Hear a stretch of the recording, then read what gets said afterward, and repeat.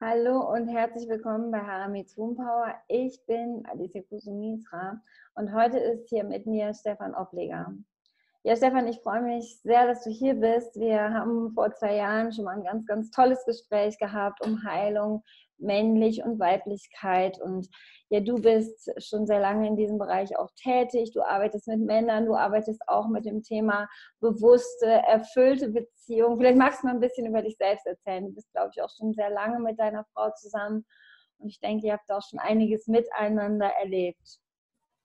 Ja, sehr gerne. Ich freue mich, dass ich, ja, das, danke vielmals für die Einladung und äh, bin da immer sehr gerne bereit, auch zu erzählen, weil ich denke, das ist so ein, ein Thema, das ich auch in die Welt tragen möchte oder wo, wo ich selbst spüre, ist noch sehr viel mit Scham, mit, ja, ich weiß, ich weiß selbst noch nicht so genau, was da noch alles damit verbunden ist, aber ich spüre einfach, es möchte raus und gerade auch mit Frauen, die auf diesem Weg sind, denke, wir können da gemeinsam viel auch erforschen in diesen Themenbereichen. Deshalb finde ich es cool, dass wir über dieses Thema sprechen können. Ich bin selbst, also ich bin Vater von zwei Kindern. Ich bin jetzt seit zehn Jahren mit meiner Partnerin unterwegs in Partnerschaft und bin ursprünglich oder bin auch tätig immer noch als äh, Sozialpädagoge. Ich habe in den letzten Jahren hauptberuflich ja, Menschen mit kognitiven, aber auch psychischen Beeinträchtigungen unterstützt in ihrem Alltag.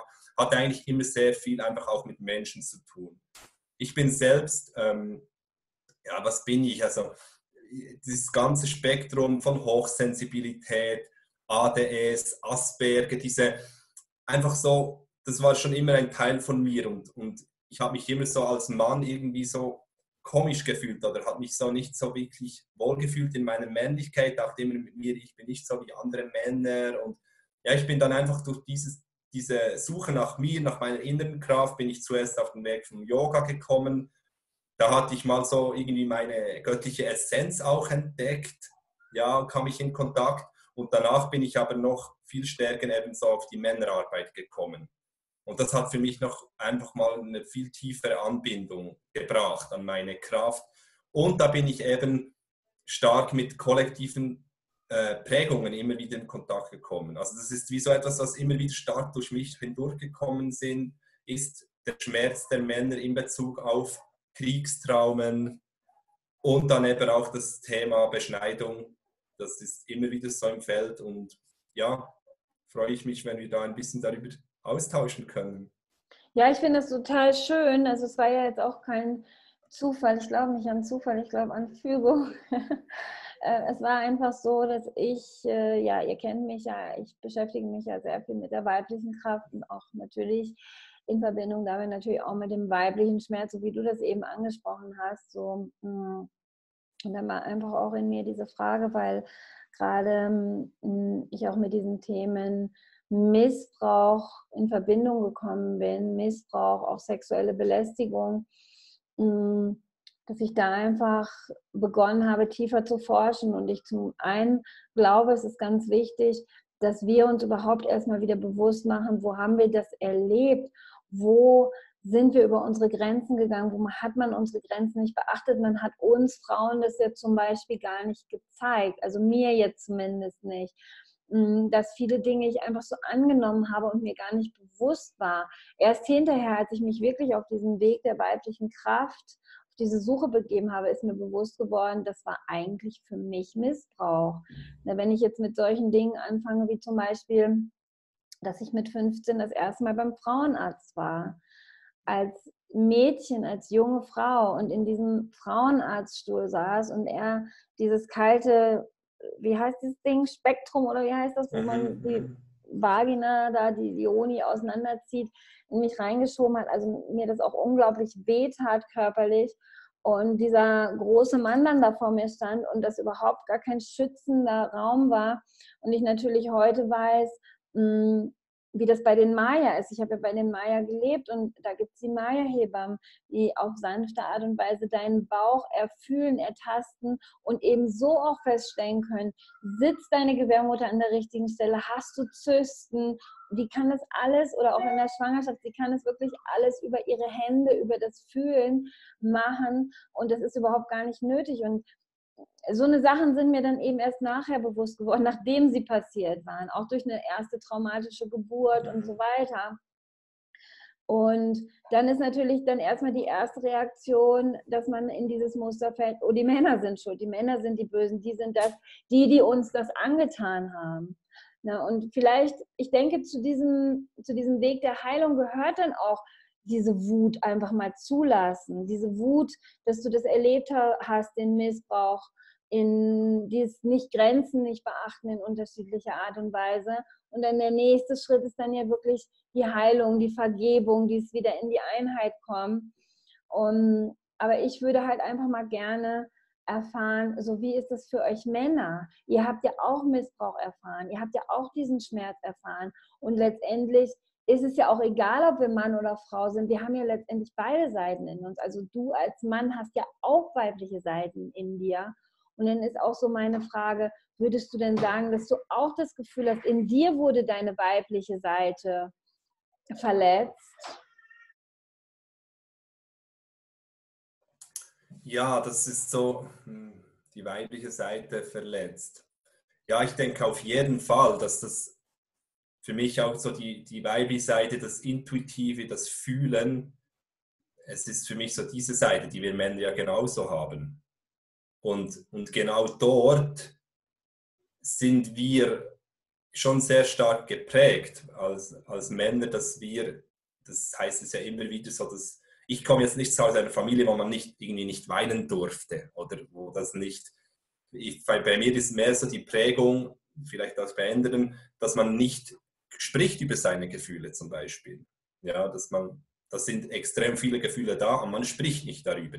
Das heißt, ich habe gar nie wirklich gelernt, so ein Vorbild gehabt, wie das ist, wenn ich, wie, wie ich mich mitteilen kann über Gefühle. Und in dem Sinne, das fühlt sich für mich auch ja wie eine Art Missbrauch oder des Weiblichen in mir. Absolut, ja, weil das, das, das fehlt dann einfach wie. Das ist wie so etwas, was dann eben in der Partnerschaft sehr stark auch ähm, gespiegelt wird.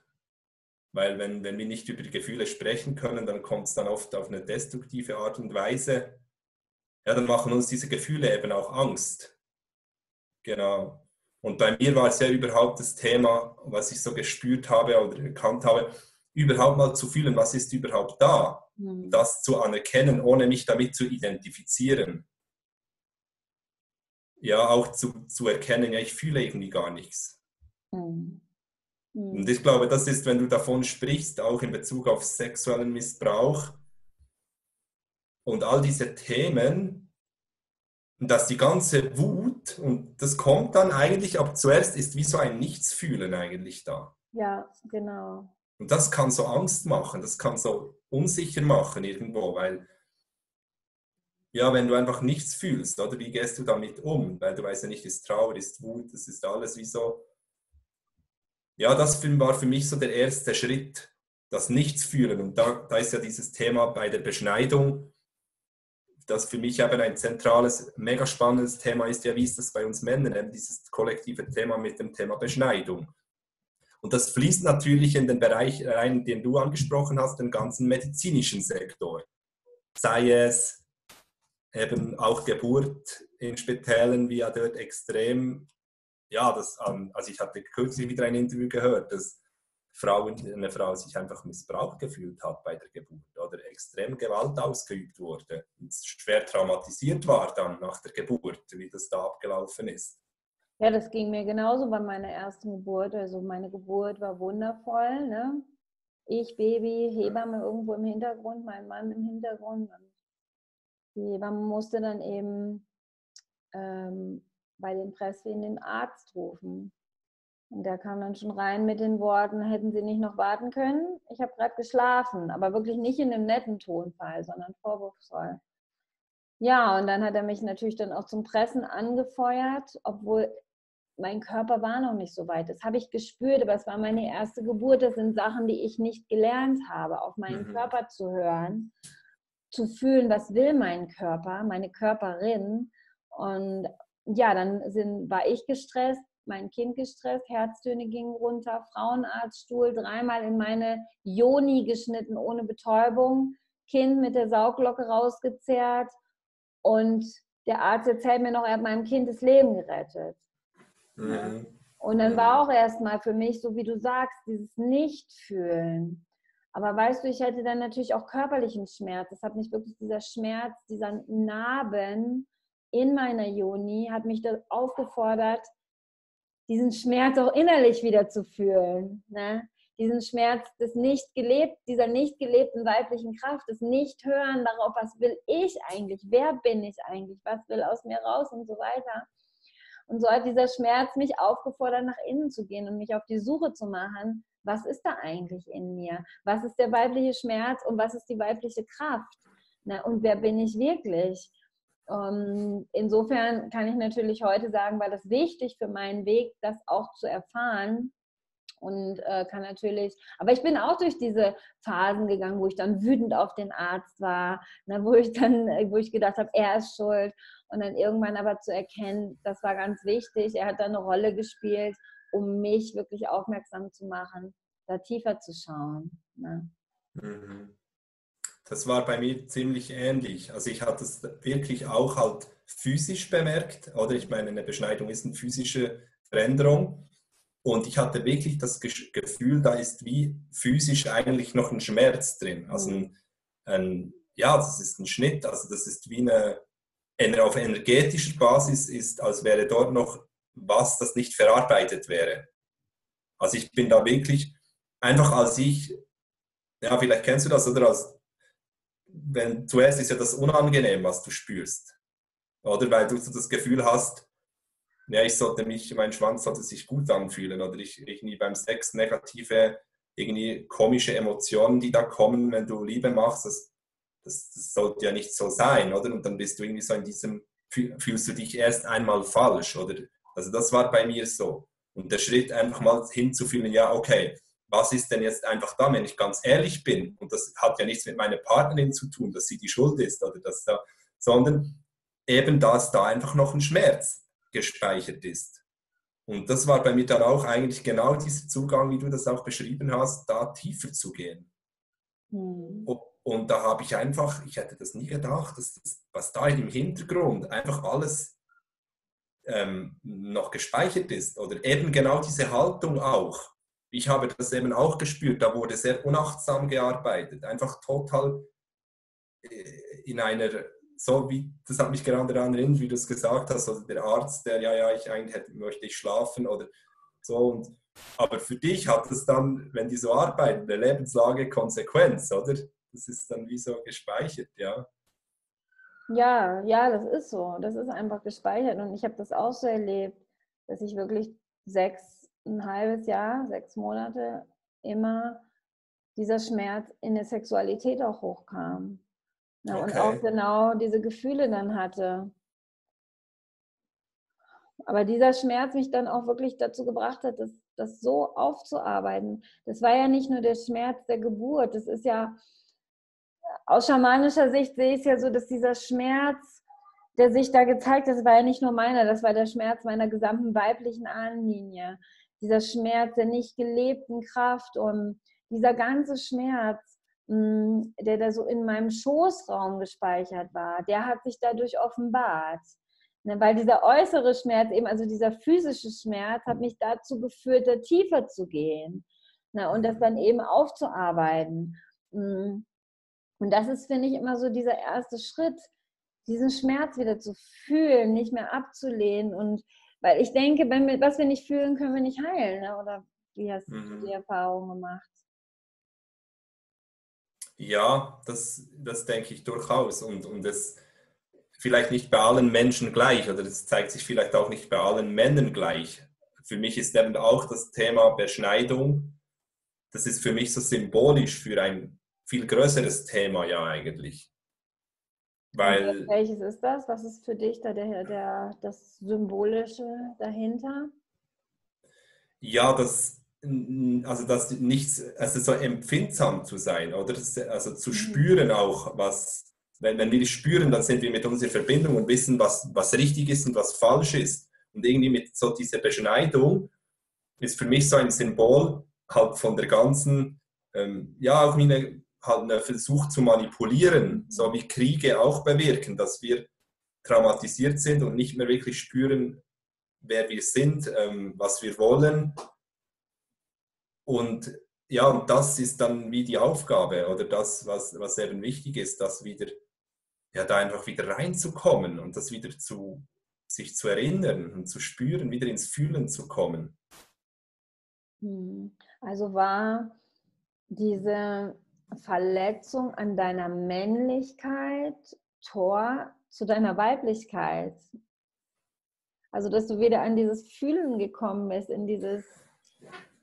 Ja, oder auch in, in meine wahrhaftige Männlichkeit überhaupt, weil eben das Ganze, was heißt, bedeutet dann wirklich Männlichkeit oder erwachtes Männ, erwachte Männlichkeit? Das ist, ich glaube, das ist etwas, was wir erst jetzt am Entdecken sind. Mhm. Und mich hat es eigentlich damit in Kontakt gebracht. Also, dass ich einerseits eben ähm, ja, wieder dieses Fühlen, aber auch die Sexualität, die Lust, diese Verbindung mit meinem Lingam, mit meinen Gefühlen, mit meinem Herz, das bringt mich in meine Kraft als Mann. Ja, und, und dort bin ich eigentlich mit diesem, ja, auf diesen Weg gekommen dazu dann auch. Du meinst, dass du auch eine bewusste Sexualität erfahren durftest, also eine Verbindung zwischen Sexualität und Herz?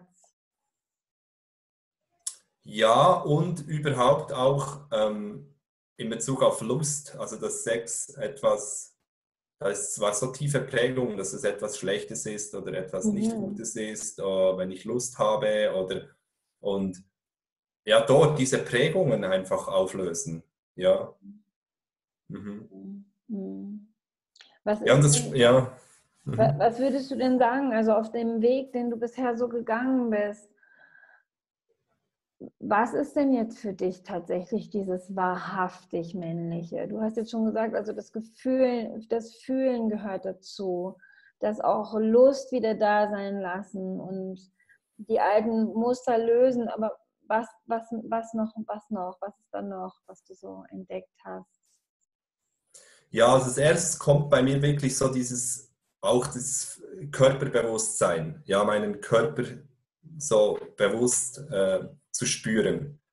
Ja, also in meinem Körper anzukommen, wirklich so dieses Ankommen bei mir selbst, in meinem Körper und von da aus dann auch ja, in, in meiner Kraft zu sein, sei es in der Beziehung, ein, ein wahrhaftiges Gegenüber zu sein, weil als Mann, wenn ich in meiner Kraft bin, dann bin ich der Frau ein Gegenüber und die Frau kann auch, wenn ich habe auch eine sehr starke Frau neben mir, können wir uns einfach gegenseitig auch Dinge spiegeln. Und, das, und wenn das bei ihr so heftig kommt, kann, kann sie das nur bei sich dann heilen, wenn ich in meiner Kraft bin und spüre, was ist meins, was ist nicht meins. Mhm. Ja. Und dort, also das heißt für mich auch in der Beziehung wahrhaftig männlich zu sein, kann zum Beispiel auch heißen, dass ich sage, hey, das hat mich jetzt verletzt. Mhm. Das, das hat jetzt, ja, dass ich dort auch Grenzen setzen kann zum Beispiel.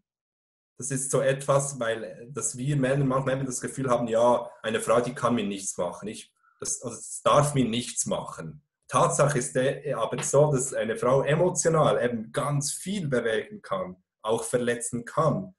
Und dort einfach auch zu sagen, wenn das in so eine Richtung geht, das klar, klar mitteilen zu können.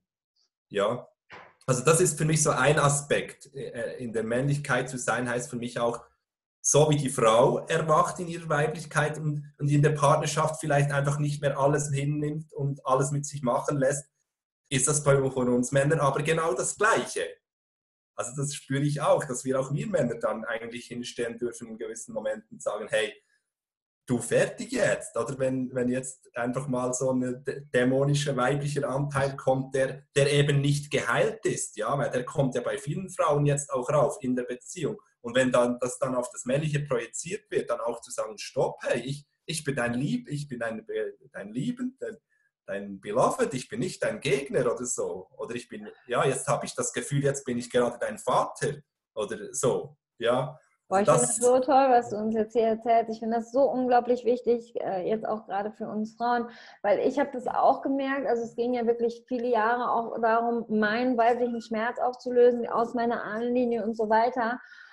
Und ähm, irgendwann kam ich dann an den Punkt, wo ich dann auch mal gemerkt habe, wie sehr das Weibliche, das, das, das verletzte Weibliche, das männliche verletzt wie sehr das verletzte Weibliche, der Schmerz der Frau, das Männliche verletzen kann. Habe ich dann auch in meiner Partnerschaft mit meinem Mann erlebt, wo ich dann plötzlich mitten in meinem Toben hm, innegehalten bin und erkennen durfte, welche Macht wir auch in unserem Schmerz haben, das Männliche zu verletzen. Das ist nicht immer, so oft wird immer darüber gesprochen, hm, dass wir unsere Grenzen setzen sollen, dass wir ja das wirklich klar erkennen, aber wir erkennen dann manchmal eben auch nicht, dass wir über die Grenzen unserer Männer gehen, dass sie auch genau den gleichen Schmerz, also das ist, was ich jetzt hier so von dir ja auch erfahre, ihr habt ja ganz ähnlichen Schmerz, ihr habt auch Missbrauch erlebt, hm, ihr durftet auch nicht fühlen und nicht sein, wie ihr wahrhaftig seid, ihr durftet auch keine Grenzen setzen. Ne? Insofern, wenn ich dir zuhöre, sehe ich da keine großen Unterschiede. Ne? Mhm. Mhm. Absolut, ja. Genau. Und wie, wie, wie seid ihr denn da so mit umgegangen? Also du hast dann schon gesagt, wenn deine Frau in ihrem weiblichen Schmerz war, da hast du dann wirklich Grenzen gesetzt und hast gesagt, hey, stopp, und ja, ja, genau, weil für mich war das so, also ich hatte das erst gelernt, auch als ich bewusst auch Männerarbeit gemacht habe, ich mhm. hatte da auch einen Mentor und ich war eine Zeit lang wie so, wie soll ich das sagen, bin ich eben sehr stark auch in diese weibliche Seite reingekommen und durfte integrieren. Ich kannte das, das göttlich-weibliche und dass eine Frau eine Göttin ist und, und das, ja, und, und da habe ich einfach manchmal so ein bisschen gespürt, ja, das ist schon, das ist ja wahr, aber in der Partnerschaft oder wenn auch die anderen, kommen eben auch die anderen Anteile auf und rauf. Und dass es dann auch wichtig ist, eben das zu spiegeln und, und dort wirklich zu sagen, ja, was es mit mir macht jetzt gerade, wie fühlt es sich jetzt gerade an? Jetzt, jetzt fühle ich mich gerade nicht mehr sicher. Jetzt habe ich gerade das Gefühl, da steht eine Frau vor mir mit einem giftigen Dolch. Ja, also das, das sind so Empfindungen und, und, diesen Empfindungen dann einfach Ausdruck zu geben und, und dadurch die Frau auch zu unterstützen. Äh, ja, stimmt. Und, und ja, da ist gerade was in mir raufgekommen. Und logisch hatte ich vielleicht zuvor was gesagt, wo ich auch in meinem alten Schmerz drin war. Oder? Und, und das hat dann bei der Frau das getriggert. Oder das hat dann wiederum, also ich, ich hatte ja auch meine Themen und die wurden dann auch gespiegelt, aber eben, es, es sind einfach beide, es ist ein, ein Spiegel voneinander. Mhm. und, das finde ich wichtig, dass beide wachsen können, ja. Und dadurch ist es schon wichtig, dass die Männer einfach auch ihre Arbeit machen, dass sie das halten können, ja, wenn die Frauen auch in ihren Gefühlen sind, in einem heftigen Gefühl. Das, das ist eben auch okay, das, ist, das soll auch sein so, ja. Ja, wir sind dann manchmal so wie Kali, ne? Hier, ich habe immer Kali, hier ist eine kleine, ich habe auch eine große. Guck mal, die ist ja dann auch, die ist dann so in ihrem Toben, äh, dass Shiva sich unter sie werfen muss, damit sie wieder sich mhm. beruhigt. so, so, sehe ich meinen Mann dann, habe ich dann meinen Mann auch schon manchmal gesehen, wie Shiva, ne, den ich dann brauche.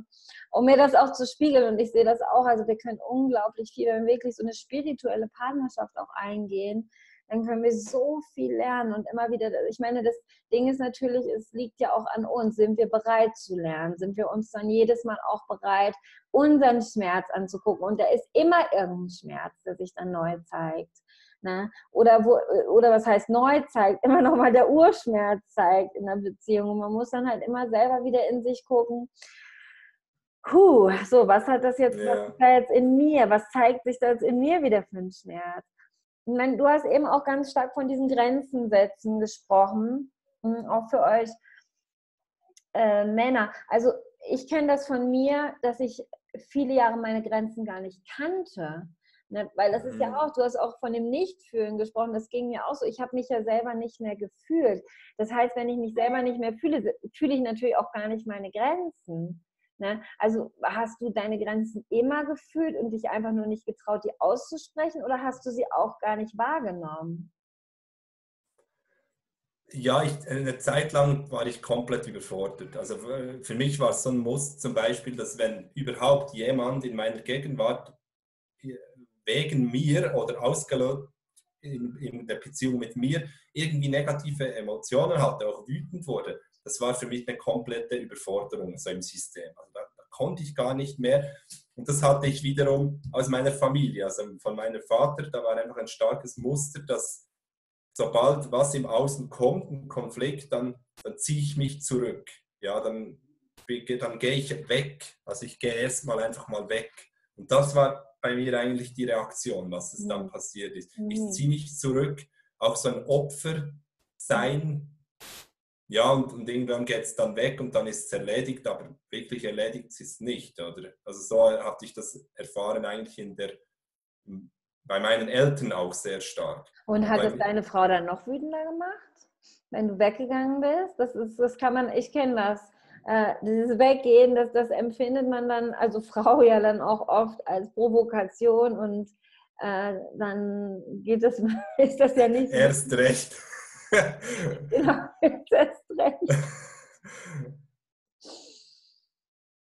Ja, wie ist das gegangen bei uns dann? Also ich glaube schon, dass sie dann, ja, wir hatten ziemlich schnell halt uns Unterstützung geholt, weil das zum Teil ziemlich heftig zu und her gegangen ist.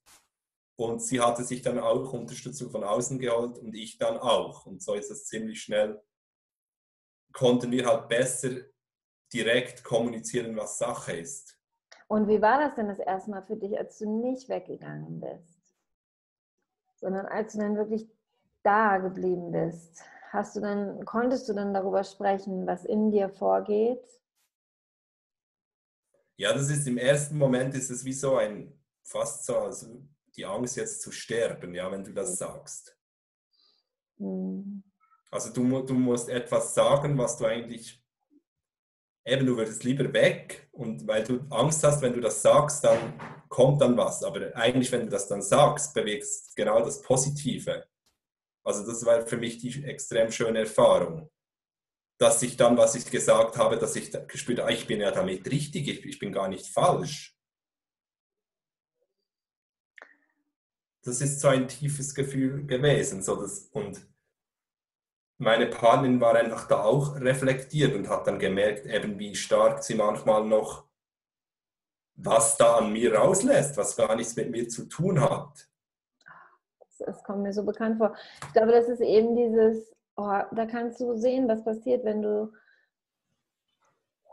wenn du, wenn du dich dann doch öffnest. Also was dann bei euch passiert ist, ich ich kenne das auch, dieses äh, von meinem Mann, dass dann sich zurückziehen und dass dann in mir es anfängt wirklich zu toben, so dieses Gefühl, oh Gott, er hört mir nicht zu, ich darf mich nicht mitteilen, er will gar nicht wissen, was mhm. in mir vorgeht. Also, dass dieser Rückzug nicht so gesehen wird, wie du ihn jetzt eben beschrieben hast, sondern wirklich noch als noch stärkere Verletzung. Ich brauche ihn doch jetzt, ich brauche ihn doch jetzt, dass er mir zuhört und dann geht er einfach weg und dann kommt eben so richtig dieser verletzte weibliche Schmerz, wo, wir, wo dann der Moment kommt, wo wir Frauen dann beginnen zu toben, ne, in unserem Schmerz. Ne, dabei ist es wirklich so einfach, wenn man sich gegenseitig diesen Schmerz erstmal eingesteht für sich selbst, den erstmal mhm. anerkennt und wirklich sich dann öffnet und wie du gesagt hast, oh, dann geht man durch so einen Tod, ne? durch so ein mhm. Mhm. des Sterbens. Mhm. mhm. Ja, ist, ich glaube, es ist einfach schon so eine Tendenz, oder? Durch diese ganze weibliche Empowerment, oder? Dass, dass Frauen wirklich halt so in ihre Power kommen, in, in ihre Power und, und dann vielleicht auch das Gefühl haben, ja, so jetzt sind wir, jetzt sind wir die erwachten Frauen und jetzt können wir so richtig Gas geben und, und aber es kann eben sehr schnell in eine, ja, eben, das heißt, diese verletzten Anteile zu heilen. Ja, und, und gerade in der Partnerschaft auch sich bewusst zu sein, eben da ist noch so vieles, was eben noch geheilt werden darf, ja. Also dass man auch aufpassen muss, dass man nicht so in ein, ein Macht, in, ein, in so eine Machtposition geht als, als Weib, so wie es wir Männer eigentlich gemacht haben, oder? Im mhm. Patriarchat. Mhm. Dass die hm. Frau dann in diese Macht-Power-Position geht und ich bin die Starke oder ich bin die, ähm, ja, das spüre ich einfach. Dort braucht es jetzt wie so ein, ein, ein, ein, ein Gleichgewicht, ja.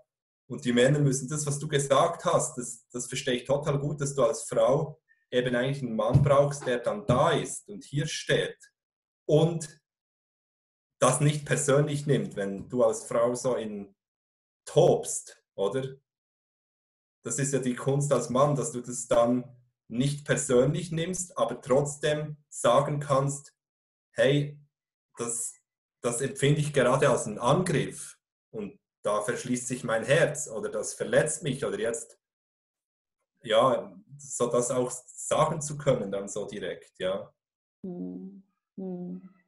Ja, ich habe das vor kurzem mal mitgekriegt bei einer, einem befreundeten Paar. Der Mann hat mich dann angerufen, er war wirklich verzweifelt, ist ein sehr starker Mann der für mich auch wirklich so in seiner Kraft steht. Und, und äh, die Frau, die hatte dann wohl gleich am Morgen kam schon ihr weiblicher Schmerz so richtig zum Vorschein. Und schon beim Aufstehen hat sie den dann auf ihn geladen. Und dann wurde es immer schlimmer und bis sie dann wirklich gesagt hat zu ihm, ich verlasse dich jetzt, ich gehe zu meinen Eltern und nehme unseren Sohn mit.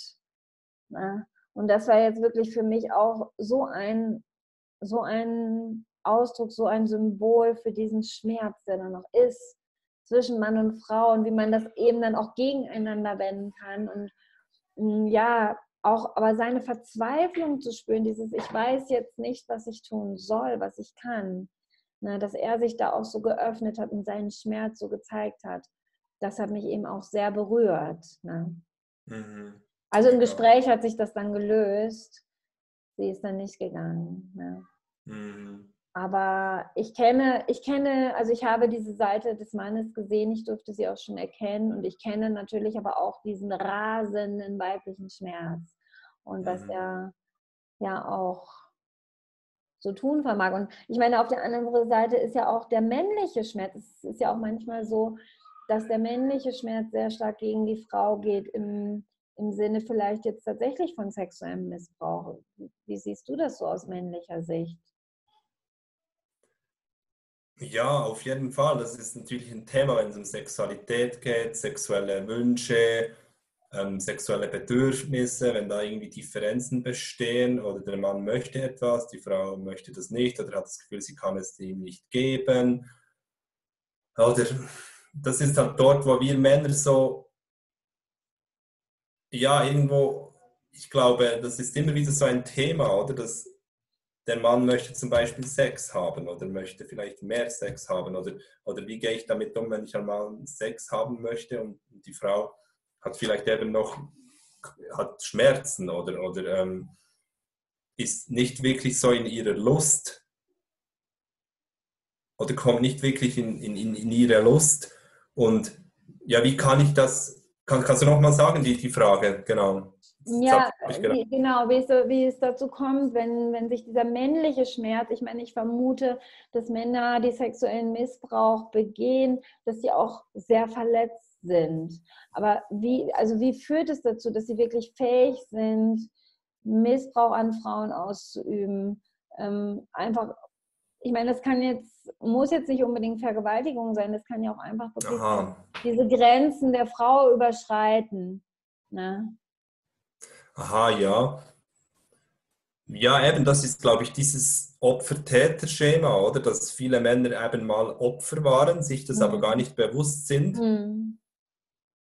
Und oftmals da noch die Mutter im Spiel war, weil was ich immer wieder zum Beispiel höre, ist, auf diesen Post, den ich gemacht habe mit Beschneidung, da kamen sehr viele die Worte, haben sich Frauen gemeldet, die geschrieben haben, ja, bei mir war, bei einem Sohn war das auch das Thema. Zum Glück habe ich auf meine Intuition gehört und ich habe es nicht gemacht. Und es, es gab eine andere Möglichkeit, ähm, dass es sich nicht beschneiden lassen muss.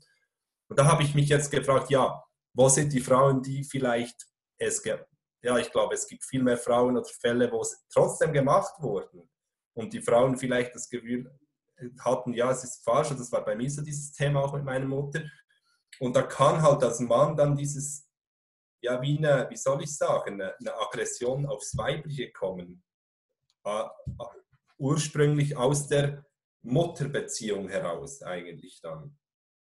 Aha, okay. Also das heißt, kam diese Wut in dir dann auch hoch, als du dein Thema der Beschneidung aufgearbeitet hast? Ja, also der erste Moment war dann, dass ich einfach gespürt, da ist was. Und da bin ich natürlich mal mit meiner Mutter in Kontakt gegangen, habe mit ihr, wollte mal wissen, wie, was ist da genau passiert, wie ist das genau gegangen. Und da war natürlich schon diese Situation danach dann, dass sie ähm, eben unsicher war und ähm, immer das Gefühl hatte, ja, es war vielleicht falsch und dass sie jetzt etwas mit mir gemacht hat, was nicht gut ist oder was, was ähm, ja, es ist, also die Prägung, das, was ich jetzt gerade spüre, ist eigentlich, dass viele Frauen missbraucht wurden, ja, und die Söhne das spüren bei ihrer Mutter und eigentlich die Frau, die Mutter eigentlich unbewusst ihrem Sohn eine Prägung, ein Gefühl gibt dafür, dass meine Lust etwas Schlechtes ist oder etwas, das Schaden anrichten kann. Zum Beispiel, weil meine Mutter zum Beispiel war das Thema, dass sie irgendwie mal eben auch einen halben Missbrauch erfahren hat oder als Teenager einen Mann auf dem Schulweg einen Schwanz ausgepackt hat, gezeigt hat oder so. So Sachen. Und das, und das ging dann in diese Richtung, zum Beispiel, als ich das erste Mal mit meinem Bruder Pornos geschaut habe und meine Mutter hat das dann entdeckt und anstatt dass sie uns damit darüber offen gesprochen hat, was ich jetzt so gesehen habe, dass das eigentlich wichtig wäre, auch interessiert zu sein, was uns Jungs daran interessiert und so, hat sie dann einfach ziemlich krass darauf reagiert, dass es etwas Schlechtes ist und so wie übertrieben gesagt, wie könnt ihr das machen, sowas zu schauen, das ist als das ist, wieso, da werden Frauen sozusagen missbraucht und, und da kam so dieses Gefühl, wurde mir gegeben, ah, wenn ich jetzt ein Porno schaue, dann bin ich eigentlich ein Frauenmissbraucher. Aber weil ich, ich mache das ja eigentlich im Zusammenhang im Entdecken von meiner Lust. Und dann ist so diese Prägung halt an meine Lust gleich schlecht oder meine Lust gleich, ähm, ich bin ein Täter oder ich bin ja, und das, diese Kopplung habe ich bei mir so lösen dürfen. Zu sehen, das ist aus einer Verletzung von meiner Mutter, nicht aus ihrem ursprünglichen weiblichen, geheilten Sexualität heraus. Ja, ja das ist auch, was ich ähm, sehr stark wahrgenommen habe. Es ist ja einfach so, wir sind im Schoß unserer Mutter herangewachsen. Ne?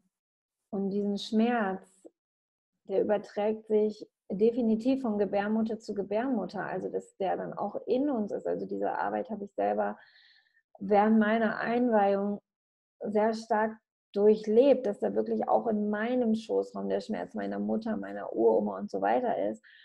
Aber warum soll es bei euch Männern anders sein? Du bist auch im Schoß deiner Mama rangewachsen. Also ich vermute, dass ihr da diesen Schmerz schon mitbekommt, den Schmerz des verletzten Weiblichen, des nicht geheilten Weiblichen, aber ebenso natürlich auch den Schmerz des verletzten Männlichen, weil unsere Väter waren ja auch nicht in ihrer Kraft.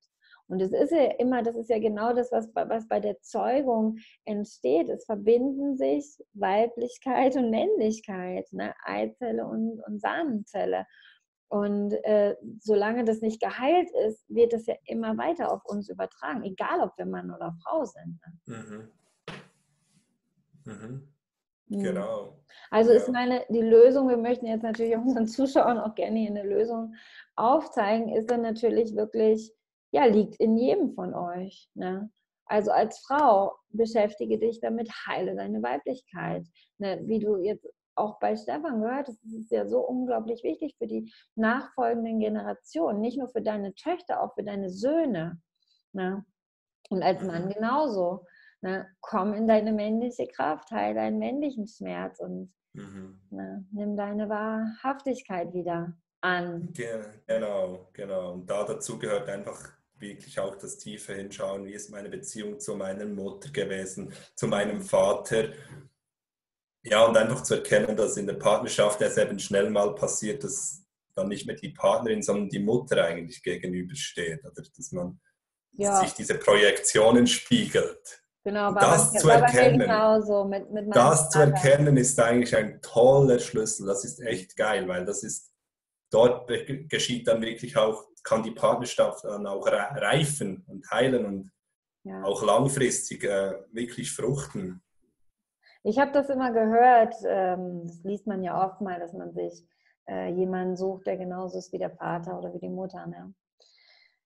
Ich sehe das allerdings anders nach dem, was ich so erlebt habe. Hm, bei mir, wie gesagt, bei mir kam alles so intensiv hoch während meiner eigenen Einweihung zur Schamanin in Guatemala. Da musste einfach dieser Schmerz ans Licht kommen.